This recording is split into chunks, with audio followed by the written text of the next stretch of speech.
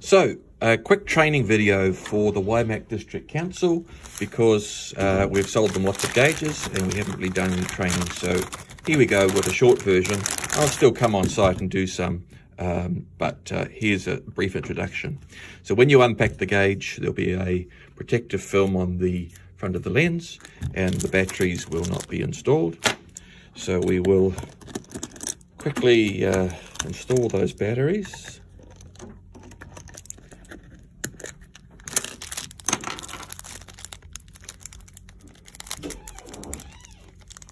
And this is why I shouldn't drink before work. Um, so the batteries go in, just two AAs. Good idea to use alkaline um, so that they don't leak, etc. We'll just check we've got life here, and we do. Okay, so I'm going to put the cover back on. The battery should last ages and ages. Oh, I can't remember how many thousand hours, but it's a long time. So um, don't worry too much about that. Now, oh, and of course it comes with the dongle, which allows you to connect to your PC and download by radio. The gauge works on a menu system, which is not the most helpful in the whole world. So I'm just going to run through some of the menu settings on here for you. The book, you should read the book, but the book isn't terribly well done. Um, so I'm going to run through them with you. Most of the buttons have dual functions. So if we look at this button that says units, which normally switches between bar, kPa, megapascals, etc., etc., I'll go back to something sensible like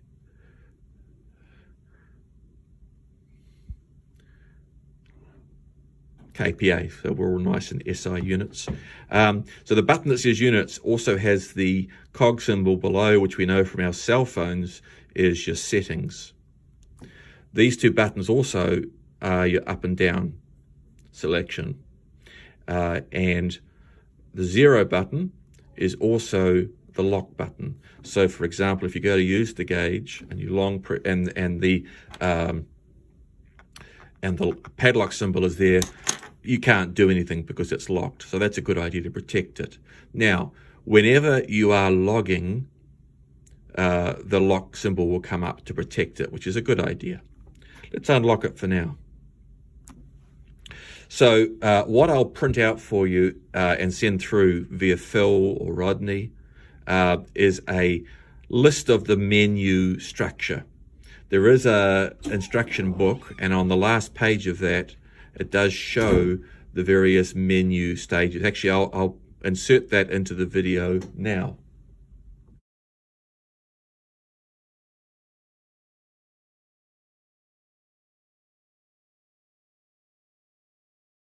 So hopefully if I've edited this video correctly, a menu um, screen would have appeared showing the um, makeup of the various functions on the menu. Okay, so let's talk about the menu. There's a couple of ways to operate the gauge. One that I prefer, especially if, if you're tradespeople and you're used to tools and not so used to computers, is to have the gauge automatically begin logging and automatically begin uh, sending out a signal, radio signal, as soon as you power it up. And that makes all sorts of sense to me.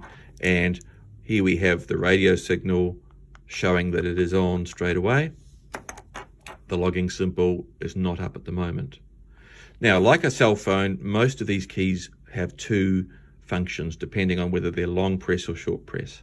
So if we look at the units button, down below it we have that cellular type universal symbol for settings.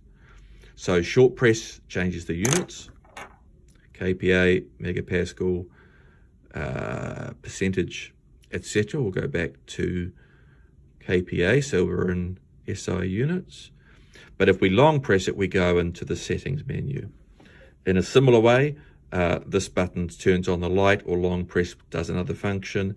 And the zero button either locks the gauge, unlocks the gauge, or is the enter button when you're setting things on the menu. So let's go into the menu. We long press the units button and we're into the menu.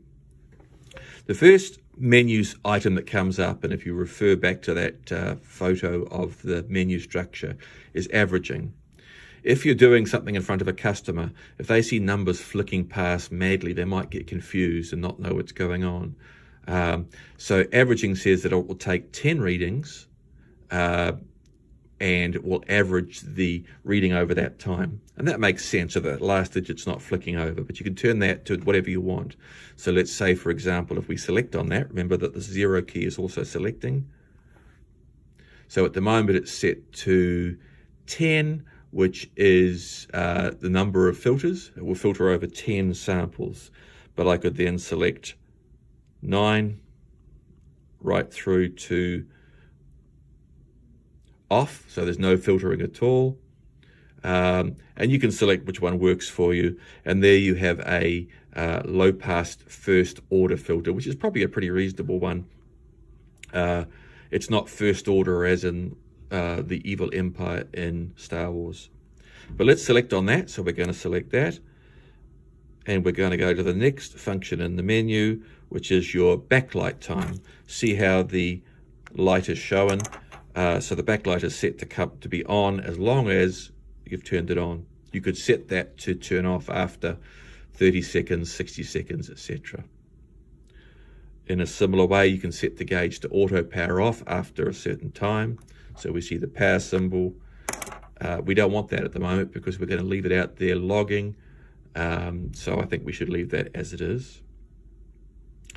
Currently, the sampling rate, which is indicated by this, um, shows 0.3. So it's going to be sampling every 0.3 of a second. So that might be too quick for you, but it is quite useful for capturing fast transients like water hammer. But again, let's say we want to change that. We would simply select it and use the up and down arrows to select what you want. 0.1 of a second, uh, 15 seconds, now, Rodney pointed out that he had a, a, a situation where he uh, let the pressure off and the gauge stayed on, showing pressure. So, um, this might have been the case. If this was set to 15 seconds, that would be the case. So let's stick with 0.3 of a second for now. Time, channel. Now, again, the gauge that Rodney brought in uh, was set to channel 13 in error, I'm sure. So again, we're probably going to leave that alone. Now, here we're into the logging menu. Uh, logging right now is set to off. Let's turn that on. Firstly, we have the capacity. That will show you how much memory you've used. Ignore send, ignore delete for now. Gap is just a, a way of saying how often you want the logger to sample. So if we enter on that, at the moment it's, it's sampling on the logging every one second. And again, that's probably reasonable. So we hit the escape to exit that menu. Uh, and then we go up to, now, here we have logging to be automatically starting or automatically stopping. I don't know what CT stands for. Uh, we can make up something, but anyway, CT1 means that at power up, logging will occur straight away. And similar on the radio, if its CT is set to 1, it will start logging straight away. And that's probably a good idea. So let's turn logging on to make sure it's ready to go. And then we're out of that menu.